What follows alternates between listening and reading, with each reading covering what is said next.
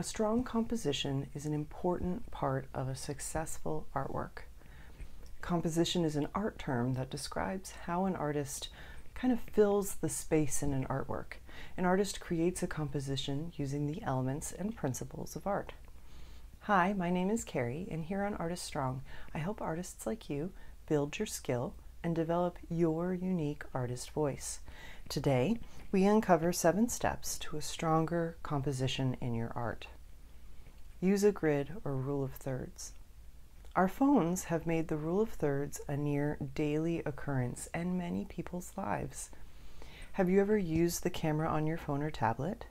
They have an option to have a grid show up on the screen as you take photographs. I've taken a screenshot from my camera to show you what it looks like and I've highlighted the grid. This grid shows points of intersection where you can line up images or objects in your photograph to get a good shot. This is also known as the rule of thirds. You can use this same approach in any artwork you create. Imagine this hashtag-like mark on top of your surface, or even draw it lightly. Where do the lines intersect? These are good places for focal points in your art. Tangents and moving off the edges of the canvas or paper. Something you can also look for is a term called tangents. A tangent is when you draw or paint something and it lines up exactly with the edge of the frame. I have an image on the screen for you here. Tangents are very distracting to the eye and hinder a composition. It's much better to commit to having objects in your composition that completely go off the edge of your surface. And to typically do this in more than one location, an odd number even, to create balance. Odd numbers rule. So let's talk about the odd numbers I just mentioned. If you look at artwork across history, there's a regular use of odd numbers in arrangements of still lifes as well as images with people, um, like biblical and mythological stories depicted during the Renaissance. The example that I have for you here is by female Dutch artist Clara Peeters, where you can clearly see three strong vertical elements in this painting. For whatever reason, having a composition with an odd number of elements can enhance the overall finished work. I'll admit, I don't have kind of a good psychological or scientific reason for you. I encourage you to dig deeper and please let me know if you find that research to justify it further. My own justification is my art history knowledge and my own experience with student work. Triangles or tops. Speaking of the Renaissance, you'll observe in works they often arrange the composition in a triangle. This was regularly used as a tool to help create the compositions in their artwork. You can see this in the two works that I share here by Artemisia Gentileschi, The Birth of St. John the Baptist and Judith Beheading Holofernes. Model historical artwork. And the Renaissance is a time period that just keeps giving.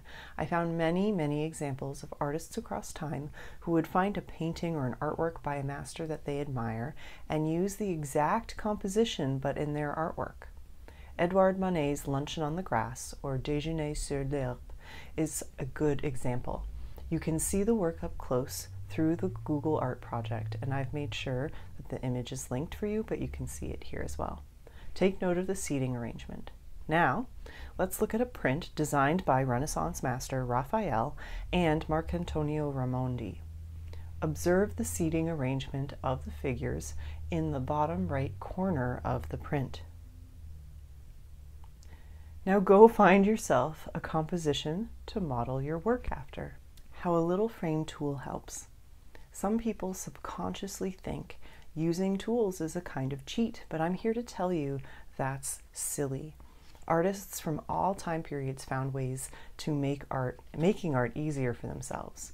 Van Gogh was known to use a frame tool, it's kind of like this viewfinder, to help him decide on compositions.